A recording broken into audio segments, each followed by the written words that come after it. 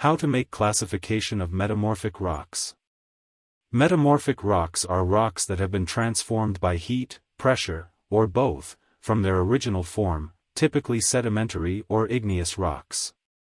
These changes cause the minerals within the rock to recrystallize, resulting in a new set of physical and chemical properties. As a result, the classification of metamorphic rocks is based on the types of minerals present, the degree of metamorphism, and the texture of the rock. The following are the most common types of metamorphic rocks. Slate Slate is a fine-grained, low-grade metamorphic rock that is formed from shale or clay. The minerals in slate are typically mica, chlorite, and quartz. Slate has a well-developed foliation, or layering, that is visible to the naked eye. The foliation is a result of the alignment of the minerals during metamorphism. Schist Schist is a medium to high-grade metamorphic rock that is formed from shale or mudstone. The minerals in schist are typically mica, chlorite, talc, and amphibole. Schist has a well-developed foliation and a coarse, layered texture. The layers are often made up of different minerals, giving the rock a banded appearance. Gneiss Gneiss is a high-grade metamorphic rock that is formed from granite or diorite.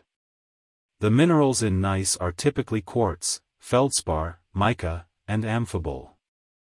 Gneiss has a distinct banding that is a result of the segregation of different minerals during metamorphism. The bands can range in thickness from millimeters to several meters.